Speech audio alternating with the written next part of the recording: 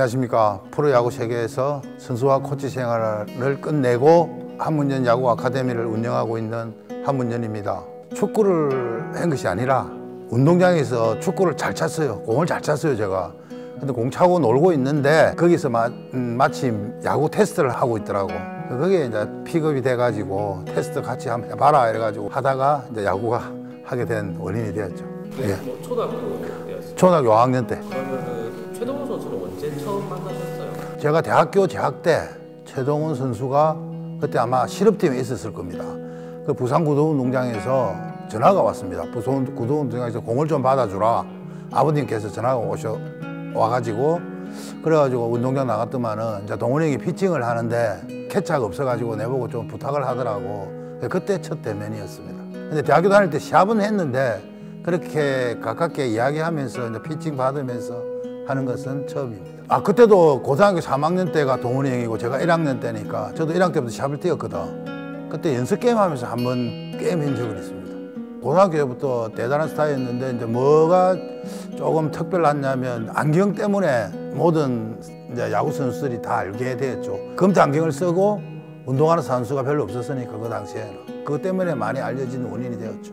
첫인상은 그 당시에 그렇죠. 뭐 일단 최고 스타니까 어떤 대학교 때부터 대표팀으로부터 해가지고 최고 스타였으니까 어떤 면에서는 제가 좀 주눅이 들었죠. 아무래도 저는 대학생이고 그리고 그 뒤로 이제 제가 대학교 4학년 때 동훈이 형도 대표팀에 가서 만나긴 만났는데 첫 인상은 아무래도 좀 스타성이 좀 있게 보였죠. 조금 가까이 하기 좀 어려운 그렇죠. 그 당시에는 그랬죠. 예 예. 최동호 선수 뭐 성격은 어땠어요? 성격은 호탕했어요 그냥 예. 이야기도 잘하고 근데 어떤 이 피자에서로서의 투수로서의 이런 성격들이 보면 혼자 외고수들이 많아 자기밖에 모르고 하는 그런 스타일이 많은데 근데 그 형님은 좀 뭐 후배들이나 그런 부분에서는 잘 다독거려주고 그런 면이 많았죠 초반에는 83년도에 같이 입단을 해가지고 그때 팀에 심재훈이라는 대표팀 캐쳐가 있었습니다. 그 형님하고 이제 호흡을 맞추다가 우연히 이제 저하고 같이 호흡을 했는데 의외로 이제 제가 그 당시 말해도 이제 볼을 잘 잡았거든. 캐칭이 좀 좋다고 할까. 그래서 그런지 자기하고 어, 나하고 하고 싶다고 그 그때부터 그런 이야기를 하더라고. 동훈이 형이 감독님한테 이야기했는지 그 당시에는 모르겠지만 그게 계기가 돼서 그랬는가. 그때부터 쭉 그 형님이 놓으면 꼭 나, 제가 나가는 그런 이제 이런 합이 되었죠. 어. 그때 약간 좀 부담감 같은 건 없으셨어요? 저는 부담 없었죠. 저는 이제 후배고 하니까 이제 그런 부담은 없는데 일단은 시합을 뛴다는 그 자체가 좋았던 거죠. 그거라도. 왜냐하면 그 대표팀 캐짜라는 심재원 형님이 있었으니까 사실은 그 게임에서는 동훈 형이 안 나가도 됐는데 아마 시합을 나갔을 겁니다. 그때는 저주기 게임을 했잖아요. 그 삼성에서 저주기 게임을 해줄 테니까 그 이제 우리가 2승을 하면 우리가 이제 후기리가 우승을 한다. 그리고 이제 동훈이가 안 던져도 돼. 어차피 이제 서로가 저주기를 했으니까. 근데 삼성 측에서는 신인이나 이런 주전급이 아닌 애들이 나왔는데 너무 잘하는 거야. 그 점수가 많이 벌어졌어. 우리가 저게 된 거야. 야, 이건 큰일이다 이거야. 그래서 이제 할 수 없이 그쪽에서 전령이 뒤에서 와- 왔더라고. 전령이 와가지고 최동훈 내라. 이래가 안 된다. 이래가지고 그런 이제 어느 이야기가 오갔는데 동훈이 형이 자기가 안 던져도 되는데 아 내가 던지겠다. 그런 에피소드가 있었습니다. 왜냐면 안 던지면 저니까 저면 우승을 못 하니까 상대방에서도 그걸 원하고 있고 그 자기가 자진을 해서 자기가 자진해서 던지겠다 이러더라고. 그래서 그런 면에서 좀 감동을 받았죠 그 당시에. 음. 우리는 근데 저도 본전이에요. 그런 생각이었어요. 어떤 면에서는 일단은 시리즈까지 간다는 그 자체가 우선 영광이었고 그리고 여기 여기까지만 해도 잘했다. 그런 분위기가 팽팽했죠. 삼성하고 그때 페나트를 했을 때는 아마 몇승 못했을 거예요. 이기기가 굉장히 힘들었던 팀이었었어요. 뭐 여기까지 뭐 올라온 것만 해도 다 어, 잘한 거니까 밑져야 본전이니까 부담 없이 하자. 뭐 그런 분위기였죠. 그런 분위기가 된 오히려 더 부담 없이 했던 것이 아마 이길 수 있는 운동력이 되지 않았는가. 근데 삼성 측에서는 굉장한 부담감을 가지더라고. 동훈이 형도 삼성 선수로서는 충분히 칠 수 있는 그런 공인데도 잘 못 치더라고 부담감이 돼서 그러는가. 페넌트 레이스를 마치고 좀 쉬었다가 1차전, 3차전은 잘 던졌어요. 1차전, 3차는 아마 완투했을 겁니다. 완투하면서 그렇게 구위가 그리 나쁘지는 않다고 봤는데 원래대로 그런 컨트롤이나 뭐 볼 스피드나 이런 게 괜찮았기 때문에 아마 상대방 삼성에서 치지를 못했는데 그때까지는 괜찮았는데 근데 5차전 때도 좋았어요. 5차전 때도 괜찮고 했는데 이제 그 뒤로 가서는 구위가 조금씩 떨어지더라고. 아무래도 철인 최동훈이라도 그렇게 많이 던지면 아마 구위가 떨어지겠죠. 그런데 7차전에 역전을 시키고 난 뒤부터는 또 구위가 좀 달라졌죠. 어떻게 달려졌어요? 볼이, 볼이 더 스피드가 나더라고. 4대 3으로 제가 있다가 두일이 형님이 어, 스리를 치고 난 다음에 6대 4로 역전을 시켰잖아요. 그 뒤에 마운드에 올라와서는 볼이 또 살아나더라고. 와, 그래갖고 역시 철인은 철인이구나 이런 생각을 했죠. 요즘 야구 같은 상상도 못하죠. 그때하고 지금하고 비교가 안 되죠. 그래 만약에 요즘 그렇게 던졌다면 언론이나 이런 매스컴에서 가만히 안 놔둘까요? 난리 나죠. 난리 나죠. 선수 보호 차원에서라도 그렇게 던진다는 건 있을 수가 없는 일이에요. 근데 그거를 이제 최동 선수는 본인이 나서서 이렇게 던지겠다. 예, 예. 페넌트 레이스도 게임 수가 많았을 거예요. 왜 그랬냐면 그때 이 우리나라 야구의 이런 흐름이 뭐였냐면 처음에 선발은 이제 조금 약간 실력이 좀 처진 애들이 선발이 나가다가 리드를 해 나갈 때 되면 에이스가 올라와요. 대부분 그랬어요. 그럼 한 3회나 4회, 5회부터 던지는 거라. 뭐 숫자가 조금 작아지잖아. 그럼 그 다음날, 그 다음날도 던질 수가 있으니까. 그런 식으로 해가지고 많이 올라갔습니다. 그때는, 그 당시에는 아마 그게 좀 유행이었던 것 같아요. 그러면 그때 나설 때 최동 선수가 나선 거는 그 선수의 책임과 요구랑 좀 강한 편이라서 그런 거죠. 그러게 이렇게 승부욕이랄까 올라가면 너무 이 승부욕이 좋으니까 강하니까 이겨야 되겠다는 그런 게 좀 많이 앞섰죠. 예. 차전이나 이럴 때 뭐 힘들어 하는 그런 거는 6차전까지는 괜찮았는데 아 7차전은 진짜 힘들어 하더라고. 6차전 때까지만 해도 똑같은 상황이었잖아요. 내 금방 이야기했던 거하고 똑같은 상황이었는데 임호균이라는 선수가 올라가가지고 4회까지 잘 던졌어요. 근데 그날따라 우리 타자들이 잘 쳐갖고 6대 1인가 5대 1인가 이기고 있는 상황에서 또 동원이 5회, 5회부턴가 올라갔거든. 그런 식이었거든. 어, 원래 페넌트 레이스가. 그래 그때 던지고 7차전은 딱 되니까 처음에는 볼이 안 오더라고 그래 많이 맞았잖아. 홈런도 맞고 예 많이 맞았죠. 예. 아, 아무래도 이- 일단 라인이죠. 위에서 좀 내려오는 공인데 아무래도 내려오는 공은 타자들이 보면 점이 하나밖에 없기 때문에 치기가 더 힘들죠. 옛날부터 동열이하고 비교가 많이 했는데 동열이 같은 경우는 공이 좀 앞에서 빠르면서 좀 솟아오르는 스타일이고 뭐 동원이 형도 솟아오르긴 솟아오르는데 저 위에서 내리꽂는 스타일이기 때문에 타자들이 아마 치기 더 힘들었을 겁니다. 그리고 좋은 카브가 있었기 때문에 어, 동훈이 같은 스타일이나 컨트롤이 좋은 피자들은 포수가 굉장히 편해요. 굉장히 편하고 사고가 없다는 거는 그 정도로 내가 여기 던지라는 데는 던진다는 결론이거든. 내가 여기 던지고 그 다음에 어떻게 가겠다는 작전을 할 수가 있어요. 그래서 편해요. 그런데 여기 던지라 했는데 가- 갑자기 다른 쪽으로 오면 작전이 헝클어지잖아. 그럼 어려워. 근데 여기 던지라 할 때 던지면 그 여기 다음 다음 구는 어떻고 어떻고 가기 때문에 어떤 면에서는 캐처가 굉장히 편해요. 그리고 그 형님의 볼의 구질이라는 거는 특히 또 타자들이 잘 못 치니까 공이 끝이 좋고 좋으니까 오히려 굉장히 더 편했죠. 역동적으로 던진다고 해서 속도만 빠른 게 아니고 컨트롤이 어 좋았죠. 예. 컨트롤도 좋았고 two nothing 이후에도 빼는 자체가 별로 없어서 바로 들어갑니다. 그러니까 그게 어떤 면에서는 볼 개수를 줄일 수 있는 그때 당시만 해도 그런 투수들이 별로 없었거든. two nothing이 되면 의식적으로라도 두 개, 한 두 개는 뺐단 말이야. 근데 그때 당시 그 형님은 그게 아니야. 근데 들어가. 조금 빠져 앉아줘도 그냥 그대로 들어가. 이기는 경우가 많아 많은데 그- 그렇게 되면 볼 개수가 작아지잖아. 그럼 오래 던질 수가 있거든. 그 요즘 야구가 그렇거든. 요즘 야구가 two nothing이 되더라도 빼고 할 것 없이 바로 붙어라 붙어라 이래 하거든. 승부를 해라고 하거든. two nothing이 맞아도 좋으니까 자신 있는 공 있으면 던지라 하는데 아마 그때 동훈이 형도 요즘 야구 같이 현대 야구를 했지 않았나 싶습니다. 예. 한국 시리즈 제일 마지막 그 회 기억나십니까? 아 기억나죠? 예, 기억나죠. 맨 마지막에 투아웃 잡아놓고 마지막 타자가 아마 장태수였을 겁니다. 어, 지금 아직 생생한데 아마 커트를 많이 시켰을 겁니다.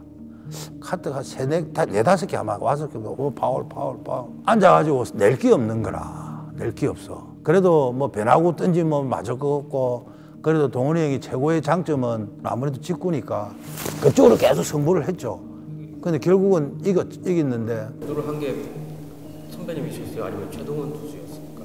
그 이제 짠이 내면 서로가 내면 오케이, 내면 오케이 이제 이런 스타일이었죠.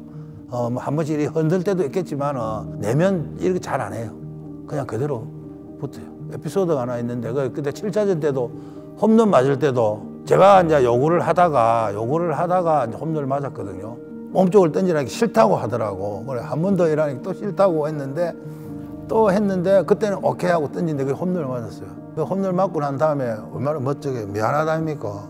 두 번이나 실수를 했다고 아, 안 하겠다고 했는데 올라가고 형님 미안합니다 이렇게는 씩 웃으면서 야야야 괜찮다 괜찮다. 가라 가라. 빨리 가라 이러더라고.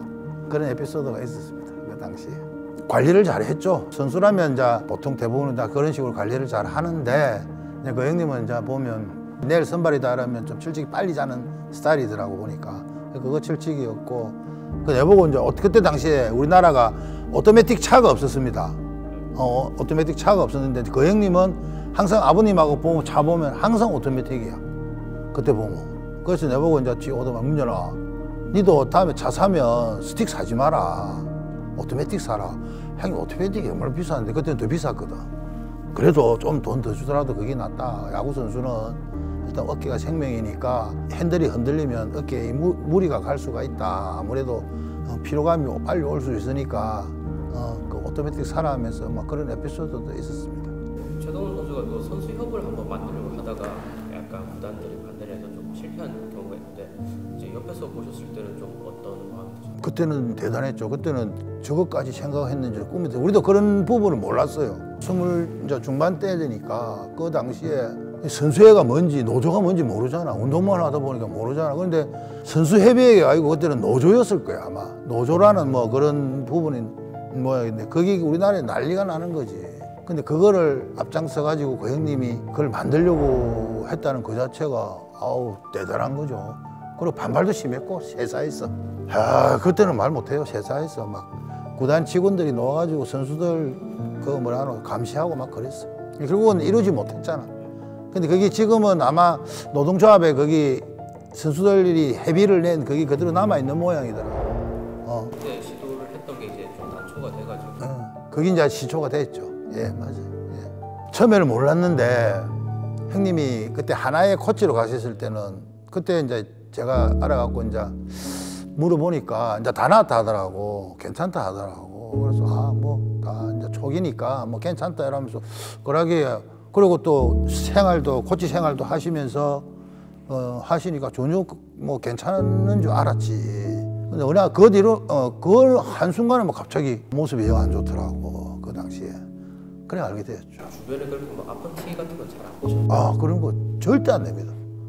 아프디 절대 안 냅니다. 어깨가 83년도에는 많이 아팠거든요. 근데 아프디 절대 안 내요. 공이 안 왔어, 그때는. 그때는 구성 18패 할 때, 그때 많이 아팠던 모양이더라고. 부산에서 형님의 역할이 그 모든 사람들을 감동을 많이 줬겠죠. 그래서 그 기념 사업회 이래가지고 11월 11일 날 매년마다 그걸 열리는데 뭐 저는 뭐 거기에 참석할 정도밖에 안 되는 거고 제가 거기에 뭐 일조한 건 없지만 어 그래도 형님하고 같이 운동했다는 데 대해서 그 참석이라도 해야 되겠다는 생각이 앞서가지고 매년마다 참석을 하고 있는데 근데 그 옆에서 도와줬던 분들을 보면 참 고마움을 많이 느껴져. 스타였고 부산의 사나이였지만은 그렇게 그런 걸 만든다는 자체가 그리고 뭐 일본의 사와무라라든지 뭐 미국의 그 상이 있듯이 그 한국에도 그런 상을 만든다는 자체가 만들자고 뭐뭐 그런 계획을 갖고 하더라고 보니까 참 고맙다고 저는 생각합니다. 글쎄요. 그 형님이 뭐 일자 11월 달 되면 떠올라. 어, 11월 달만 되면 그 형님이 남바가 11번이라서 그런 건가? 어, 11월 달 되면 떠오르고 그리고 코치 생활할 때 이런 적이 있죠. 선수가 공을 던질 때 열정을 안 가고 던진다든지 생각 자체를 야구보다는 다른 쪽으로 가 있다든지 이런 거 보면 이제 한 번씩 그런 식- 식으로 이야기를 해야죠. 임마 그 임마 이야기해 줄까 이러면서 이제 이야기 한 번씩 할 때가 있었는데 그럴 때 한번 생각은 나긴 나는데 그 형님 공 하나 던질 때도 허투게 던지는 게 없거든. 요즘 애들도 그런 면을 좀 더 배웠으면 좋겠다 하는 생각이 나면서 그 형님이 생각이 더 나죠. 열정이죠, 열정. 어, 그리고 팀에 대한 희생. 진짜 그거는 진짜 배울 만합니다. 그 요즘 애들은 어떤 면에서 개인주의가 많잖아. 그 형님도 피차를 했기 때문에 개인주의입니다. 개인주의지만은 팀에 대한 그런 애착은 애- 어, 애살은 진짜 많았던 행위거든. 저는 게 굉장히 싫어하는 행위고 그런 거를 좀 더 후배들이 좀 더 많이 배워줬으면 배웠으면 하는 생각입니다. 그 형님은 일단 별이라고 생각하죠. 뭐 별이라고 저는 생각합니다. 일단은 스타성 있고 사회성 있고 모든 면에서 다 좀 뛰어나는 행위고 그리고 모든 야구 선수들이 우러 어, 우러러 보는 스타니까 뭐 별이라고 생각합니다. 저는. 최동호 선수가 은퇴했을 때는 어떤 느낌이셨어요? 은퇴했을 때가 제가 조금 마- 가슴이 많이 아팠던 부분인데 거기 아마 은퇴가 아마 삼성에서 했을 겁니다. 삼성에서 은퇴를 했는데 형님이 어, 이제 우리가 대구 올라가고 시합을 하는데 공을 던지는데 공이 와 생각보다 안 오더라고. 아 저러면 안 되는데 하는 생각. 아 저런 형- 형이 저리 됐나. 너무 너무 가슴이 아픈 거야. 저렇게 던지지 뭐 저리지는 않을 건데. 아 그런 생각이 들 때.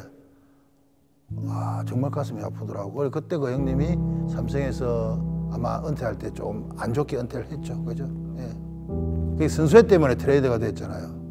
그러면서 아마 계속 롯데에 있었으면 그러진 않았을 건데 몰라 그 삼성이라는 팀에 가서만은 그런 모습을 보니까 더 안타깝더라고. 그 당시에 이 사회 분위기가 야구 선수들이 노조를 만든다는 자체가 기업에서는 굉장하게 그, 그 안 좋게 봤던 그런 부분이라 그래서 뭐 위에 있는 사람들끼리 그때 당시에 트레이드가 어떻게 되냐면 삼성에 있는 김시진이 하고 바꿨거든. 시진이 형, 효조 형뭐 이래 가고 여기는 동훈이 형 또 또 누구 누구 이래 해가지고 이렇게 서로가 삼삼 세 명 네 명 정도 이래가 와- 막 바꿨을 거야.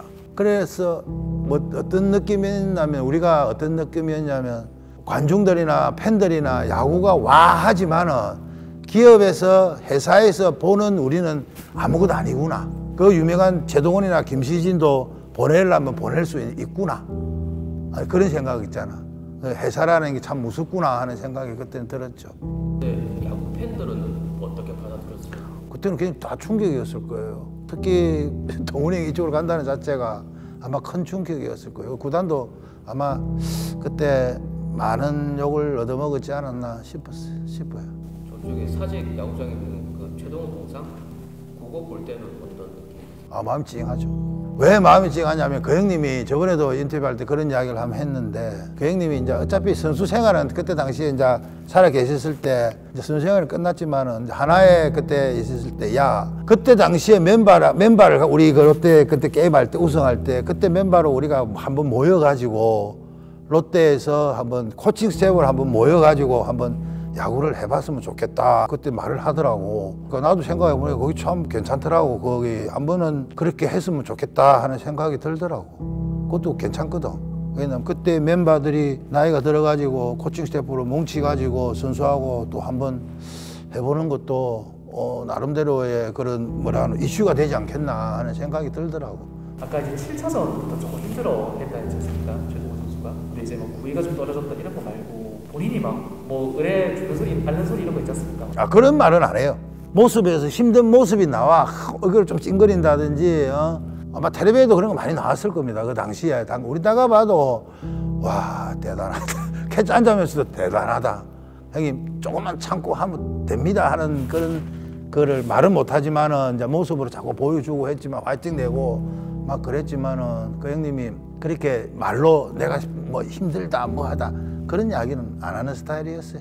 예. 끝나고 커피도 막 쏟으셨 이제 마치고 들어갔는데 어, 이러더라고. 그리고 막 먹더라고. 뭐, 마음이니까 형님 이랬더니 막 씨, 커피 난다. 이러면서. 근데 씻고 이제 빨리 내려가야 되는데 형님이 안 내려가더라고 야 먼저 가라. 이러더라고. 그래서 그때 진짜 피곤했던 모양인가 봐 그 형님 먼저 갑니다. 이라고 이제 먼저 내려갔었는데 끝나고 나서 굉장히 피곤하게 피곤했던 모양이더라고 그때 당시만 해도 모르겠다 지금 뭐이 시청률이라는 게 있잖아 아마 내가 볼 때는 많이 나왔을 거야 그때 게임할 때 프로야구가 생긴 지 3년째고 그리고 고란 시리즈가 7차전까지 간다는 자체가 만화같이 야구가 됐잖아 그러니까 얼마나 재미있었겠어 그 80차년 한국 시리즈 끝나고 나서도 이제 인기가 확 올랐다고. 예, 그때 많이 올라갔죠. 그, 그래야 야구 붐이 더 탈 수도 있었어요. 그때 당시만 해도 삼성이 우승을 했으면 더 오히려 더 좋았을 수도 있었어요. 왜 그러냐면 또 어떤 면에 지금 생각하니까 삼성이 있었으면 아마 투자를 더 많이 했겠죠. 운동장을 짓는다든지 뭐 이렇게.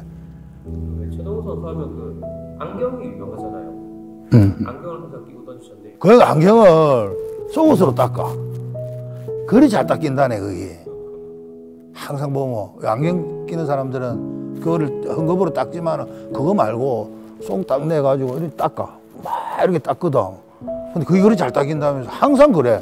그 형님, 그것도 안경이. 근데 그 검태를 끼고 안경을 끼고 야구하는, 야구한다는 자체가 그 당시에는 없었어. 하나의 거기 자기가 거기 됐는데 오히려 그또 그런 게 있거든. 야구 선수들 보면 미신이라는 게 있거든. 어, 미신이라는 게 많아. 뭐 지금 뭐 그걸 루틴이 여전히 쌓는데 그 우리 야구 선수들이 보면 그런 게 많아. 아마 요거 쓰고 던지니까 이기더라 뭐 한다든지 그런 것도 있지 않았을까 하는 생각도 들어. 아, 그거 많죠. 뭐 스파, 스타킹 한다든지 뭐 모자하고 뭐 뭐라더라 안경 뭐 이렇게 한다든지 그건 하나의 그는 그거는 미신이라기보다 하나의 습관이죠, 그죠? 루틴 그 루틴도 될 수도 있겠네. 딱 정해져가 있어. 공 탁 받잖아. 그럼 탁탁 하고 스타킹 탁 하고 그다음에 뭐, 뭐 모자 쓴다든가 하고 안경 딱 이라고 또 들어가. 뭐 그런 게 있었지 그때 당시. 팬 여러분들도 어, 아직까지 부산이라면 동훈이 형이 아직까지 팬들보다 다 알고 계시는데 뭐 앞으로도 계속 영- 응원해주고 성원해주고 비록 하늘나라에는 갔지만은 음, 어, 언제까지라도 기억해 줬으면 좋겠다는 어, 팬 여러분들에게 부탁드리고 싶습니다. 만약에 선수가 계속 살아 계셨다면 롯데에서 뭔가 활약을 하실 수도 있겠어요. 어차피 야구를 한다 이러면 어차피 그 코칭 스텝이나 이런 지도자로 하지 않았을까 싶은데 그렇게 지도자로서는 별로 그렇게 하나 쪽만 조금 했었고 하나 하나에서만 좀 그렇게 롯데에서는 해보지를 못했는데 아마 거기 그렇게 했으면 롯데에서도 뭐 감독이나 뭐 코치나 아마 하고 있지 않을까 하는 생각이 듭니다. 되게 부산으로 오고 싶어 했죠. 어, 그냥 오고 싶어 했죠. 근데 이상하게 안 부르더라고.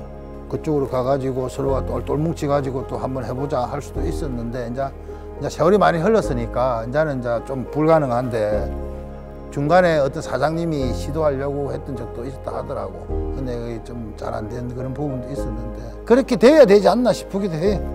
너무 이제 드래프트나 이런 게 다른 나, 다른 연구에 있는 애들이 오지만은 그래도 어, 부산 쪽에 있는 애들끼리만 자 이리 옛날 같이 이리 하면 또 오히려 더 재밌지 않나 싶은 생각도 들어.